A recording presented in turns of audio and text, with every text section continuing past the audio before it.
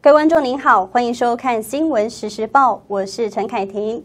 美国宣布退出联合国人权理事会，引发多方批评。十二个知名非政府组织联名抗议。欧盟表示，恐怕将伤害美国在国际间的地位。联合国人权理事会首长也表示遗憾。更有维权人士表示，看来川普只在乎保护以色列。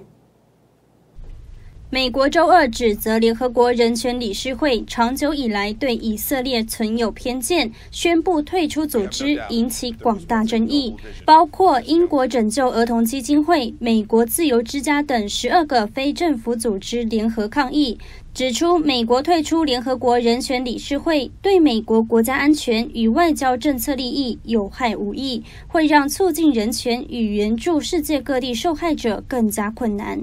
联合国人权事务高级专员侯赛因在推特上表示失望，但这项消息并不真的惊讶，并表示考量当今世界人权状况，美国应该加快脚步，而非退缩。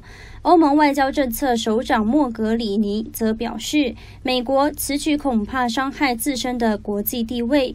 人权观察组织执行总监罗斯则批评，看来川普只在乎保护以色列。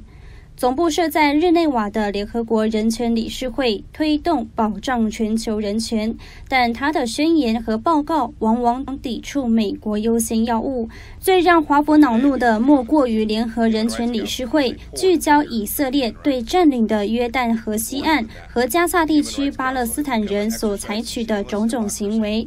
然而，美国驻联合国大使海利强调。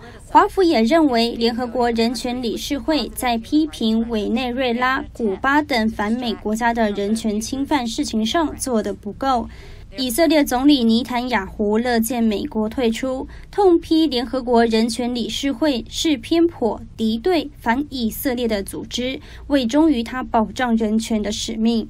人权观察执行长罗斯表示，川普政府的退出反映出捍卫以色列弊端免于抨击的重要性远高于其他一切。无论是在北韩、叙利亚、缅甸还是南苏丹，联合国人权理事会都扮演重要角色。